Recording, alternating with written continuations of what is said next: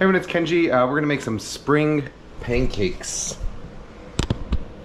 Or moo shu pancakes as uh, I grew up knowing them as. Um, these are the pancakes that you would use for dishes like uh, moo shu pork or Peking duck. Um, and I'm actually making moo shu pork today, which is why I'm making these pancakes. So uh, in another video, I will show you how to make that moo shu pork. But for these pancakes, um, so we're gonna start on a scale with 280 grams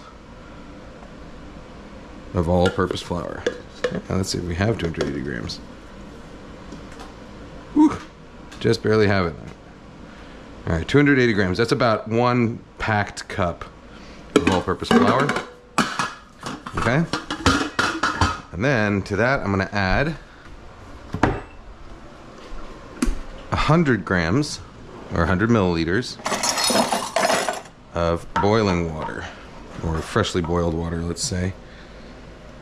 So the idea here is that um, by adding hot water to the flour, um, you are cooking some of the proteins in there. So you you're sort of limiting how much gluten forms. Uh, and you know, gluten is the stuff that kind of gives um, dough, bread dough, and stuff. It's a strength. Um, and so the idea here is that if you don't use boiling water, if you just used all cold water, you develop a lot of gluten in here, and then the um, the dough becomes very sort of uh, uh, elastic. It becomes very hard to stretch out, not very malleable. Um, but by using a combination of hot water, you know, boiling water, cooking out some of that gluten, and then adding cold water to it, you limit its elasticity. Um, and you'll see when we start rolling this dough out, it's going to become, it's going to be very, very uh, loose and easy to roll. So half and half, 100 milliliters of uh, boiling water, 100 milliliters of cold water. And you can see I'm sort of adding it in a stream here just to incorporate it evenly.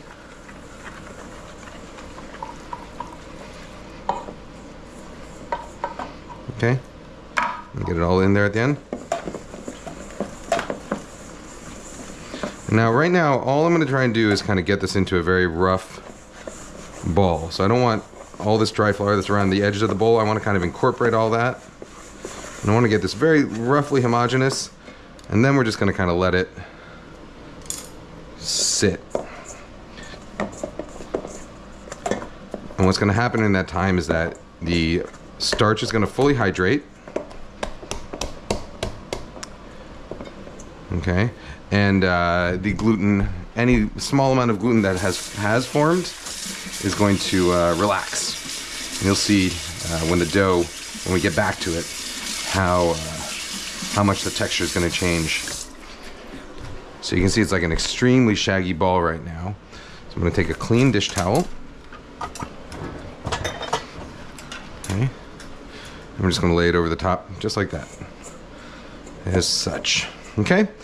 Now, meanwhile, I'm gonna work on my moo shu pork ingredients and I will come back to that in about half an hour. You can let it rest room temperature anywhere from half an hour up to a couple of hours. So uh, I will see you again in about, it's actually only been about 20 minutes. Um, so I sprinkled this with just a little bit of flour. You can see how smooth the dough's become. If I let it go for the full 30 minutes or even longer, a couple hours, it would be even smoother than this. But this is good enough uh, to get it going. So I'm gonna sprinkle my board with some flour. I'm using this pizza flour because I'm out of AP all purpose. So sprinkle your board with some flour. Lay your dough out. Okay. I'm gonna roll it into this log here.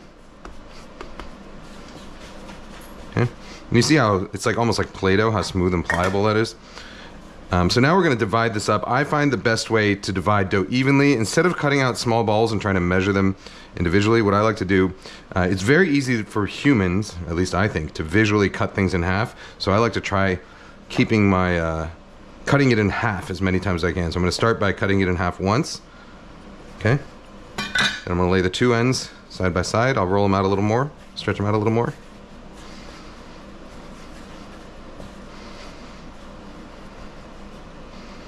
And out of this, we, we're going to get, you know, either 12 sort of largest pancakes or, you know, up to like 30, 36 very small pancakes. I'm going to cut this out in half again. Okay, so now I've got four.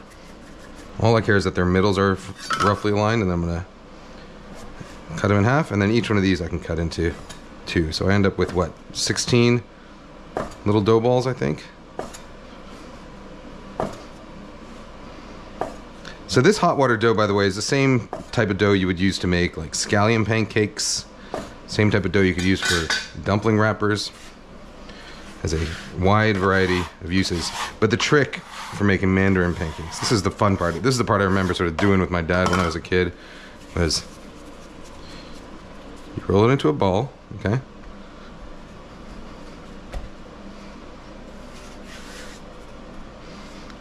Take another one, roll it into a ball. Like that. Okay, and then you kind of want to flatten them out until they're about that size, you know, the size of like a, uh, what is that the size of? A very small coaster. A coaster for a highball glass. A couple inches. Six centimeters maybe. All right, so you want to stack them like that, right? You want them to be roughly the same size. So now I'm going to take my sesame oil here. Just a little dabble do. A little bit of extra flour. And I'm to rub them around like this. Okay, and the idea here is that you can only get your pancakes so thin by rolling it out on its own. But if you stack two of them together and then you roll them out, you can get them to be half the thickness that you can get just a single pancake. And the idea is that that oil layer in between is going to prevent them from uh, sticking together. So you'll see what happens when we uh, cook this.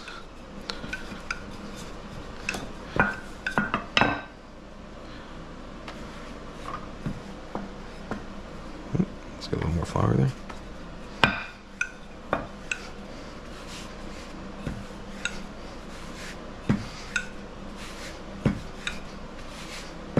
I like using these tapered rolling pins. This one is from uh, friends at Earlywood. All right, so we're almost like, almost at the limit of what I can do.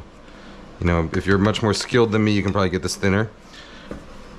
Some people like to stack even more pancakes on top of each other. You know, they'll do three or four pancakes stacked on top of each other. Um, I'm gonna stick with just the two though.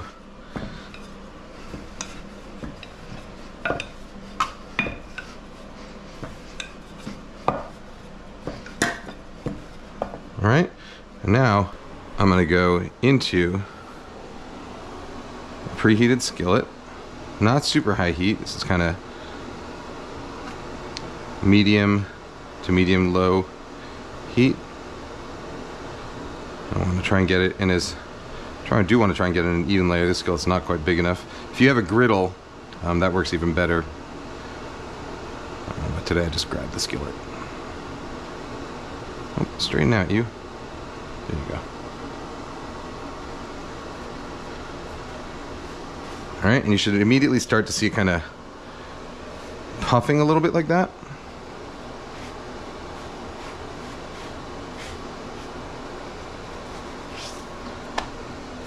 We'll cook the second side. That's all it really takes, you know, 20 seconds. We're not looking for any sort of big blisters or charred spots. We're basically just looking to cook the rawness out of it.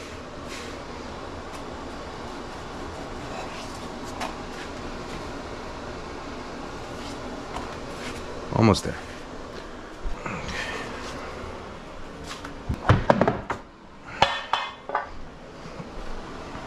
All right, and then I'm gonna set this cutting board. I'll just cover with a lid so that it kind of steams. Actually, this one fits a little better. Traps the steam in there, um, and that'll let them sort of stay moist while I make the other ones.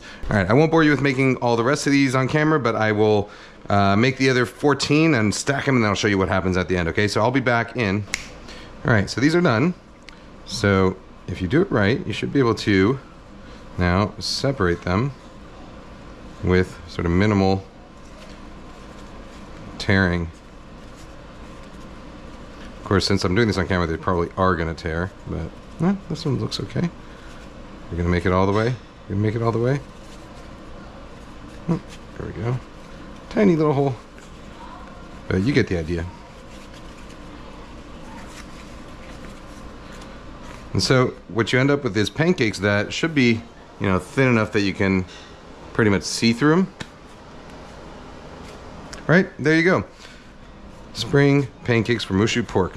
All right, so I'm gonna finish off this Moo Shu pork now. Um, that's a separate video. Again, I'll link to it. Um, but anyhow, um, yo, here, home one.